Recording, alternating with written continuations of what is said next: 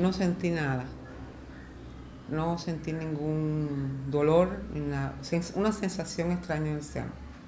Me llamó la atención y rápido fui al hospital. Y me traté con la doctora en la doctora Tamara en el policlínico de Pueblo Riff. Y nada más que la primera consulta me dijo que era así, con el palpar nada más, que era un cáncer de mama ductal infiltrante porque me retraía el pezón. El cáncer de mama podemos definirlo como un gran problema de salud. Un gran problema de salud en Cuba y en los países altamente desarrollados y en vía de desarrollo, entre los cuales podemos contar a Cuba. Cáncer de mama es la primera localización por tumores malignos en el sexo femenino y la segunda causa de muerte por estos tumores también en el sexo femenino. Todo esto hace, esta, esta, esto ser la primera localización y la segunda causa de muerte, que, que tenga esa consideración el Ministerio de Salud Pública cubano. Un problema real de salud en Cuba, con todo un programa, implementado todo un programa de diagnóstico, de prevención y de tratamiento del mismo. Ese es el concepto de cáncer de mama.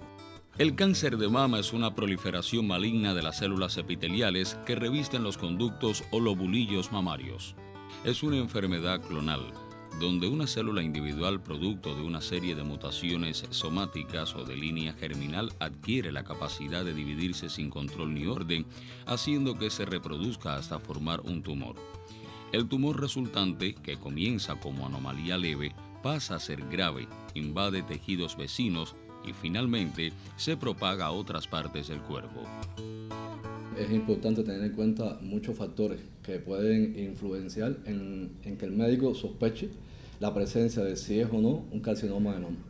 Y en esos elementos casi siempre nos vamos a basar en cuenta y la literatura lo describe en factores de riesgo que se habla que pueden ser eh, factores de alto riesgo o factores mayores o, factores de menor riesgo para la incidencia del cáncer de mama en nuestra población femenina y también, eh, bueno, en el hombre también puede hacer la aparición del cáncer de mama.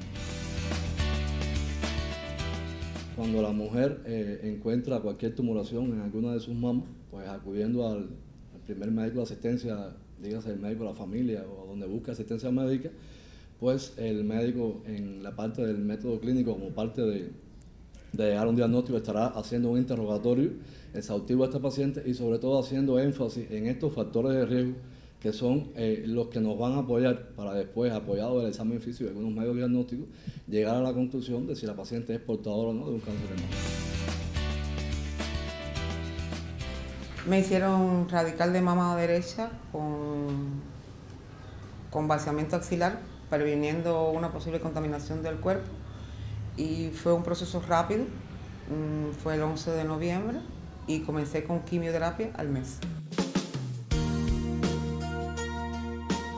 La paciente mayor de 50 años tiene más eh, riesgo de que esa tumoración sea de un carcinoma con una paciente en edad joven en otro factor de riesgo mayor o de gran importancia que le damos como parte de, los médicos a esta patología, estamos hablando de los antecedentes patológicos personales de esta paciente. O sea, si esta paciente ya anteriormente ha tenido una patología cancerosa en la mama contralateral y ahora acude refiriendo una sensación de bulto, una masa palpable en la otra mama, pues entonces vamos a sospechar que esta tumoración precisamente sea un cáncer de mama.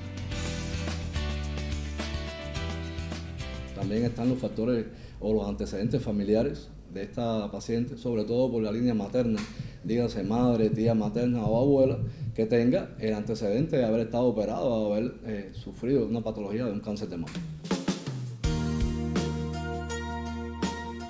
La mama como tal puede ser asiento de lesiones benignas y lesiones malignas. La mama puede ser asiento de, eh, enfermedades congénitas, de enfermedades inflamatorias, de enfermedades funcionales y enfermedades tumorales. Y las tumorales pueden ser benignas y maligna. Es el carcinoma el que se, el que se clasifica por, o sea, un sarcoma usted no puede clasificarlo por etapa clínica.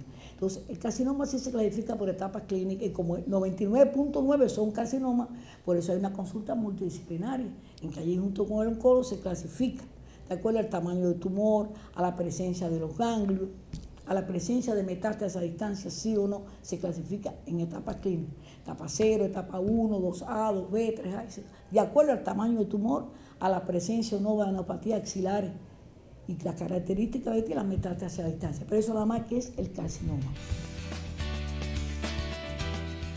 Fue algo difícil, pero pensé que si había llegado a 56 años y tenía una niña de 20 años estudiando, tenía que recuperarme. Tenía que, que seguir trabajando, porque me falta jubilarme, pero nada, fácil.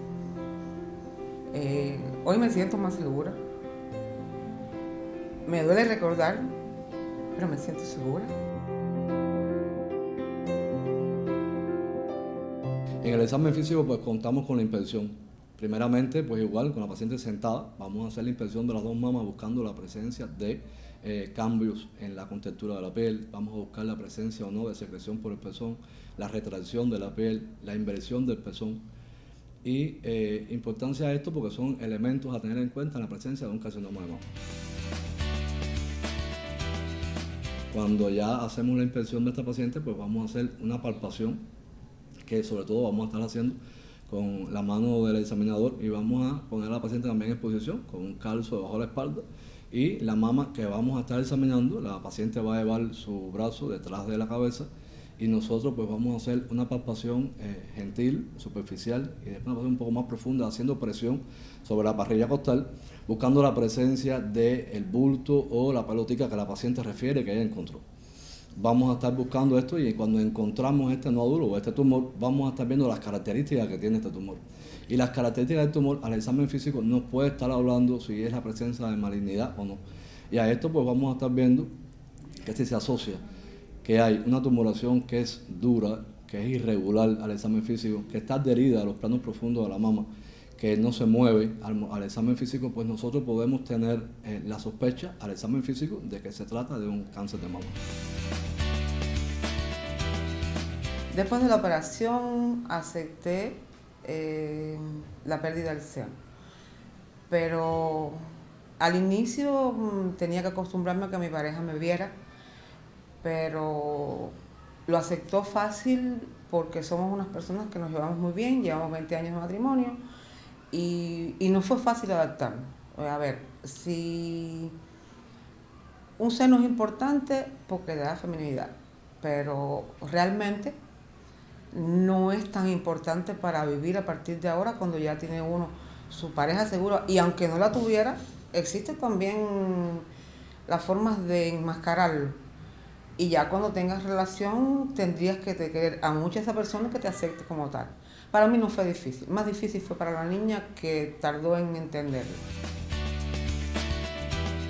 La mutilación o la amputación de una mama pues, puede afectar desde la parte de vista psicológica e incluso el entorno familiar. Por esto es una paciente que se engloba en una sociedad, muchas veces aún en, etapa laboral, con una vida por delante y entonces son pacientes que tienen temor y llegan en etapas muy avanzadas de la enfermedad a la consulta. La supervivencia es buena.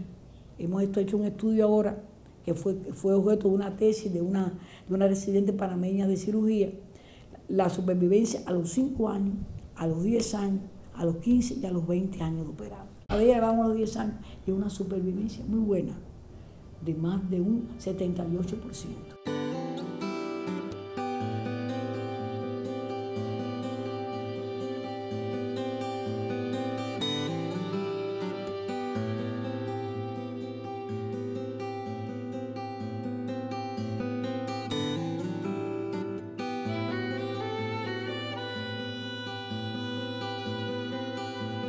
Con la quimioterapia, eh, normalmente el medicamento al primer suero, ya entre el primer suero y el segundo, eh, comienza la caída de cabello.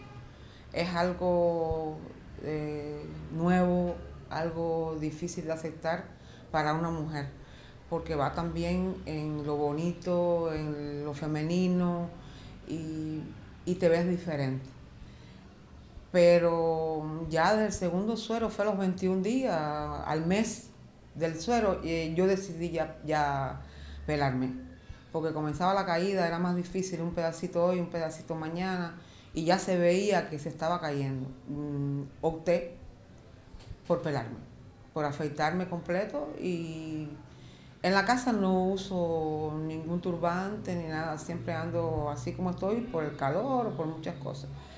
A la calle voy, salgo poco, me cuido mucho. Producto de que con la quimioterapia no podemos coger catarro, ando con nasobuco todo el tiempo. Aquí en la casa, porque recibo muchas personas, y en la calle también, en la calle preferiblemente, preferiblemente, y en el hospital. Por encima de los 30 años, toda mujer que acuda a la consulta, por cualquier otro motivo, se le debe realizar un examen de mama.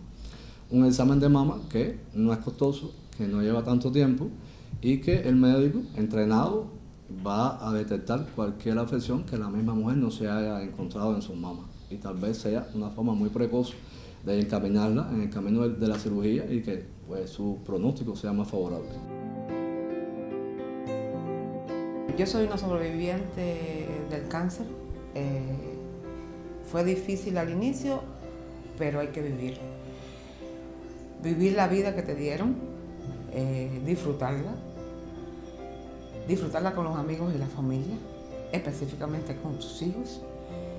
Y pienso que le gané la, batalla.